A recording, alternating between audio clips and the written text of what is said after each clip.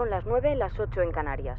Y esta mañana amanecemos con una nueva página en la crónica negra de la violencia machista, con el asesinato en Pamplona de una mujer a quien presuntamente su marido habría prendido fuego a su vivienda con ella dentro. La mujer había denunciado al hombre del que había tenido incluso una orden de alejamiento y que llegó a cumplir condena. Con este crimen ya son 43 las mujeres asesinadas en España en lo que llevamos de año. Pues como que me parece una injusticia muy grande el hecho de que a los hombres se les trate con una mayor, eh, una mayor integridad que a las mujeres.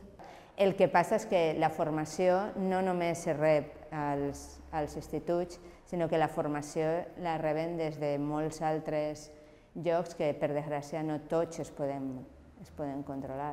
Acabem de començar un projecte que es diu Escola Municipal de Feminisme, amb la qual volem eh, una vegada al mes donar una formació a la ciutadania, perquè és bàsica. La formación es fundamental por lo que te he dicho, es decir, eh, tienes que llegar a nunca cuestionar a la víctima, para empatizar, es decir, para ponerte en el lugar de la parte que está enfrente y no hacer perjuicio, ni hacer otras, eh, ni, ni otra cuestión de valoración que lo que vas a hacer es dañar a la víctima. Cuando uno ya es consciente de, de, que es, de que está en la sociedad en la que está y en una sociedad patriarcal, no puede escapar de ciertas actitudes. Potser no estem criant o no estem ficant tots els recursos per a criar eh, homes igualitaris, que és en un futur el que, el que farà possible que aquesta lluita sigui del 99% i no de la meitat de la població.